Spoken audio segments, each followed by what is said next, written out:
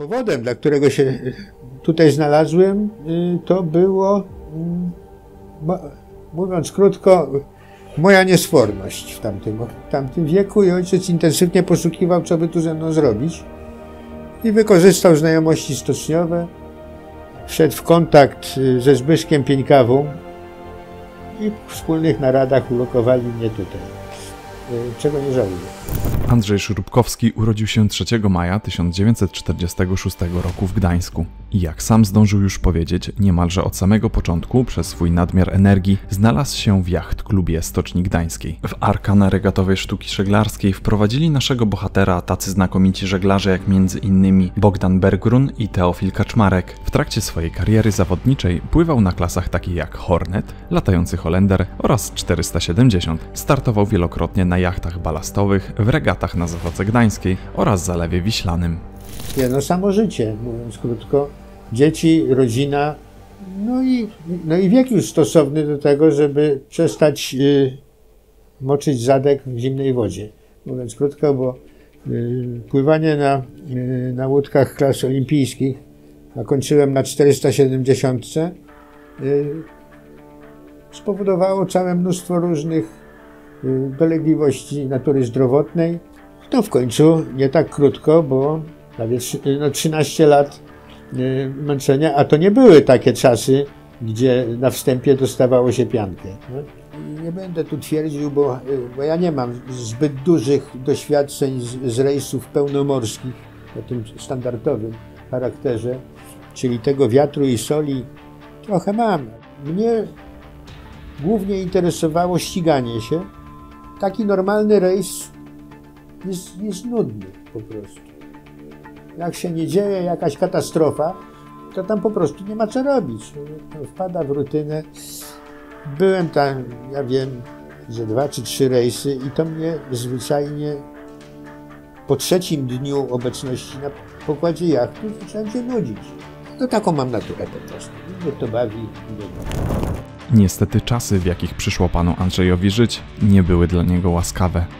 Po odbyciu służby wojskowej, gdzie w zasadzie zostałem zmuszony do wstąpienia do jedynie słusznej partii, Polskiej Zjednoczonej Partii Robotniczej, po roku zakończenia, od zakończenia służby wszedłem w konflikt z dyrektorem miejsca pracy, w którym pracowałem, w zasadzie nie osiągając wsparcia organizacji partyjnej, stwierdziłem, że dalej to nie ma żadnego sensu i oddałem legitymację. To się skończyło tym, że y, na paszport oczekiwałem, na paszport y, pozwalający na wyjazd na zachód. Pierwszy paszport dostałem w 1986 roku.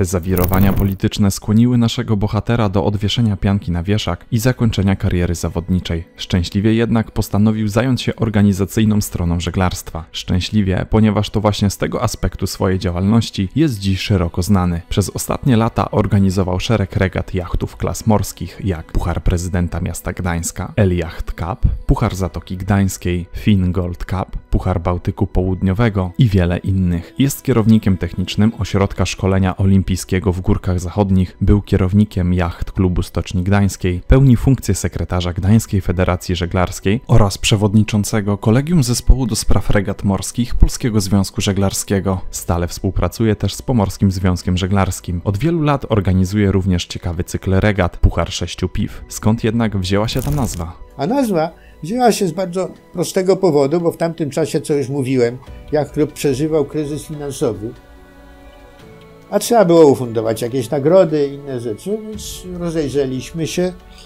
za mm, potencjalnym sponsorem, a po roku milenijnym w Gdańsku było całe mnóstwo różnych firm, które działały w tamtym okresie. Ja już wcześniej z okazji tego Gold Cupu nawiązałem kontakt z producentem piwa.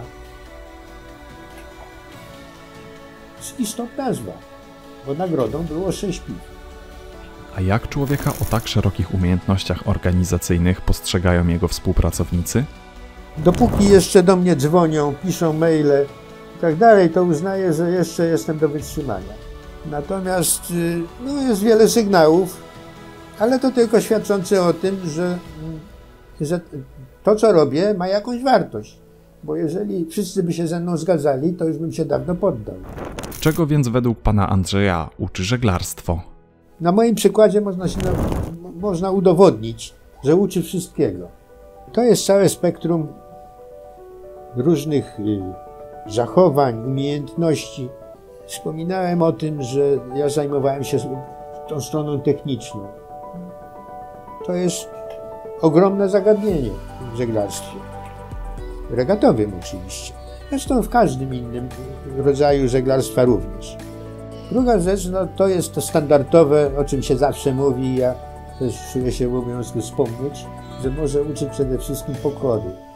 Uczy pokory, bo mm, tym się nie da walczyć, po prostu. To należy zaakceptować. Y, nie mówię, żeby się poddać, ale trzeba poukładać własne, wspólne relacje z tym, z tym przedziwnym środowiskiem na pograniczu y, wody i, i powietrza. Czy nasz bohater ma jakieś motto, którym kieruje się na co dzień? Znaczy, to jest powszechnie znana sentencja, mówiąca o tym, że co masz zjeść dzisiaj, zjedz jutro. A co masz zrobić jutro, zrób dzisiaj. Wieku pana Andrzeja większość osób myśli już o przejściu na emeryturę. Nasz bohater, jak sam mówi, jeszcze żagli nie składa. Na tyle, na ile będę miał wpływ, chcę dokończyć sprawę przyszłego bytu jachtowego. To mnie bardzo interesuje i tym się zajmuję, zarówno uczestnicząc od wielu lat w tworzeniu projektu na wykonanie remontu i rozbudowy tej przystani,